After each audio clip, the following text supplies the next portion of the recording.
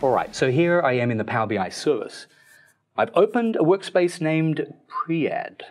Paginated Reports in a Day is the acronym. And uh, what we see here is a diamond icon.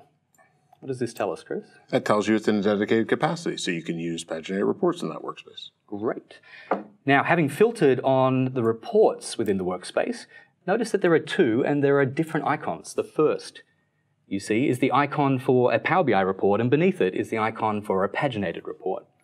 Let's go ahead and open up the Sales Analysis Power BI report. Page 1, Sales Analysis, has a highly interactive design. In fact, the slicer here is begging your user to filter by a different fiscal year. There's the ability to hover and reveal tooltips and select items of visuals and cross-filter the page. It's a great example of an analytic report.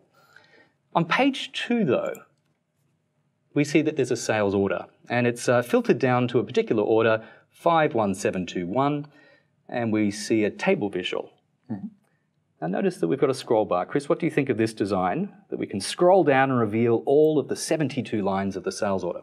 I think that's fine if you're using it in the context of the browser. I think the challenge comes in if you want to say distribute this sales order to somebody else outside the organization or have a full view of that table. So I'd do this perhaps by exporting to PDF? Yep.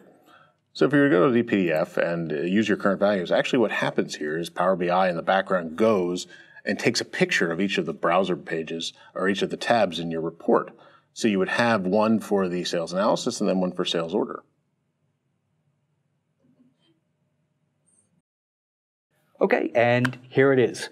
Let's go ahead and open up the PDF and see what the Power BI report looks like. Well, didn't think it was going to give me page one, but it has. Yes, it will give you each of the pages.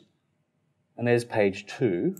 Where's lines 12 through 72? Well, because you couldn't see them on the screen, when it takes that picture, you wouldn't get it in your report. Ooh, okay. All right. Well, let's see how we might better design that type of report. So I'll return to the workspace, filter by my reports, and this time we'll open up the sales order Power BI paginated report.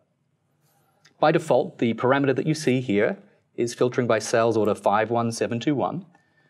Uh, and I can scroll down and I can see that there are 43. For page one, note that there's a navigation control here, so I could navigate to the second page to see all 72 lines of the order. Well, let's take a look now if we export this to PDF.